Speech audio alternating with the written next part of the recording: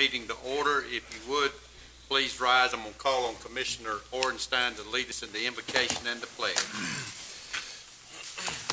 Pray with me. Heavenly Father, God, Lord, we thank you for another beautiful day, Lord. We thank you for our community, our state, and our country. Lord, we ask your hands to be upon this meeting tonight. Open our hearts and minds, Lord. Give us wisdom and discernment. In Jesus' name, amen. I pledge allegiance to the flag America,